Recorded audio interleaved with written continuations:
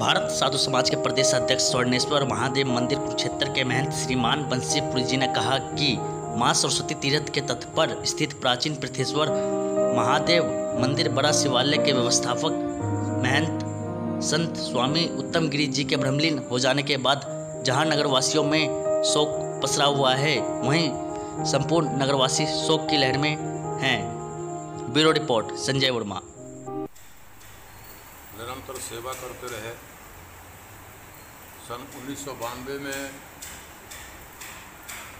मैंने उनको यहाँ का कार्यभार संभाला, संभलाया और तब से लेकर के उन्होंने बड़ा कार्य किया। वो यही नहीं, हमारे पेवे में नहीं, हमारे पूरे समाज, साधु समाज में बड़े लोकप्रिय संत थे। सभी अखाड़ों में सभी महापुरुष उनको बहुत प्यार करते थे। कुछ समय से पंद्रह बीस दिन से वो थोड़ा अस्वस्थ थे। और अस्वस्थता में ही परसों वो